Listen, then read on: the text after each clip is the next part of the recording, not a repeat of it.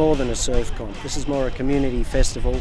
It's a, it's a building of awareness for Lifeline, and it, it's a bit of a point of contact with people to knowing, you know, when they're in crisis, there is a point. There's a, there's a couple of points that they can go out and find people.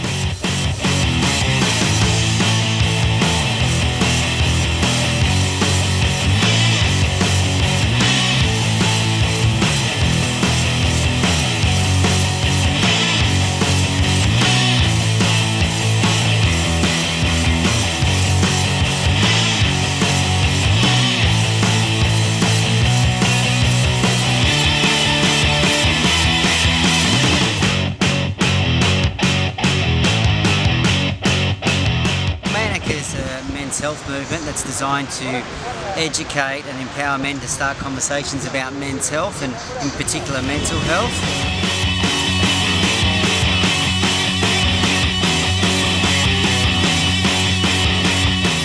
Lifeline Classic has raised over 60 grand, which is quite incredible.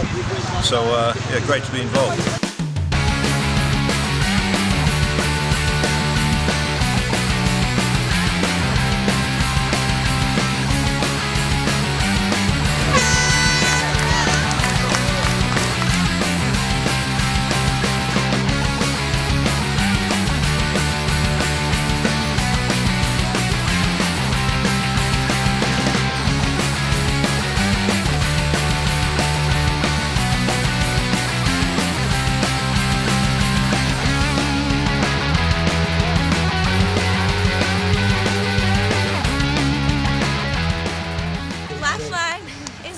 Such a good cause and it's really awesome that everyone in the community can come down and support it. Um, it brings us all together, reduces the stigma about um, around mental illness.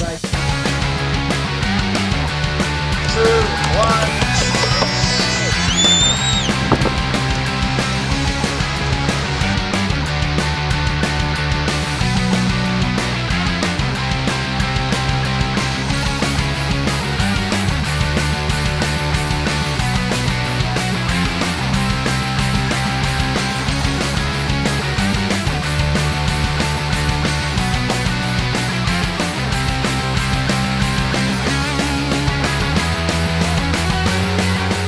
Yeah, I mean, Lifeline does such an amazing job.